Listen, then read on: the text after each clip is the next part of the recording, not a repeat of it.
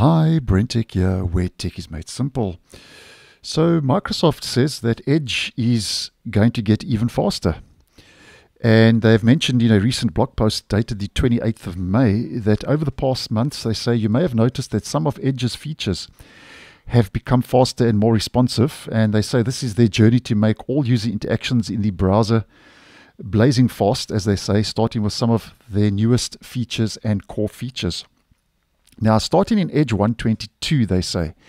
Now, we are currently sitting on version 125, but with Edge 122, they mention that the Browser Essentials UI is now much more responsive, saying that uh, the Browser Essentials UI is now 42% faster for Edge users and 76% faster for those um, of you on a device without an SSD. So that would be a mechanical hard drive, as an example, or with less than 8 gigabytes of RAM. And then something else they mention is that favorites uh, is another part of the browser that's um, getting improved performance and getting faster. And these UI responsiveness improvements, they say, started in Edge 124. Now, as mentioned, that was the previous version. We are currently sitting on 125. And they mentioned that where the favorites are expanded or collapsed, the experience should be 40% faster. And they also mentioned that over the coming months, um, they will continue to ship responsiveness improvements to many more edge features, which will include the history. And uh, you can actually see that history doesn't load as fast as favorites and browser essentials. So just a comparison. I think that's a bit quicker, slightly. Slightly. Takes a little bit longer. So um, they say that's all 40% faster or so. And they say that um, history will be getting improvements, downloads, wallet, and a lot more.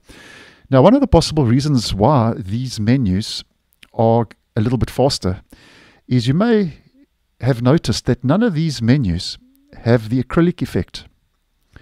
And acrylic is what makes a menu translucent. So obviously to get that translucent effect, that see-through effect, that uses a little bit more uh, performance in the browser to get that effect. Because if I head to the main menu, you can see it's a little bit see-through. I don't know if you can pick that up in the video.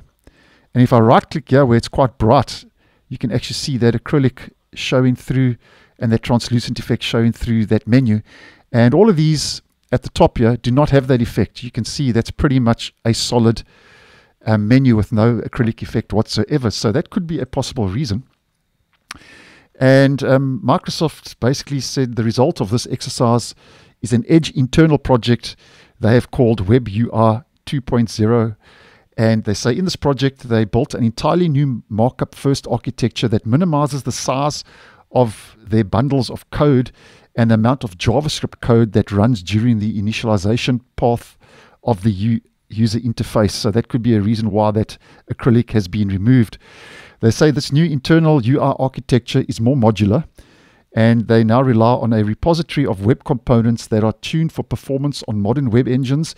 And they mentioned they also came up with a set of web platform patterns that allow um, them to ship new browser features that stay within um, their markup first architecture and that use optimal web platform capabilities. And uh, they mentioned that Browser Essentials, as part of this exercise, is the first Edge feature that they converted to test the new architecture and to prove that the concept worked, especially on all types of devices. Now, this is according to Microsoft. And they mentioned they are in the process of upgrading components of the Edge user interface to WebUI 2. And you can expect to see more features of the browser getting far more responsive over time. So I don't know if you agree with me. Do you agree? Does Browse Essentials and Favorites, as two examples, open up quicker than history. I think they do slightly. But nonetheless, I'm keeping my eye on this one. And as mentioned, Microsoft says that Edge now is going to be getting even faster in the future. So thanks for watching, and I'll see you in the next one.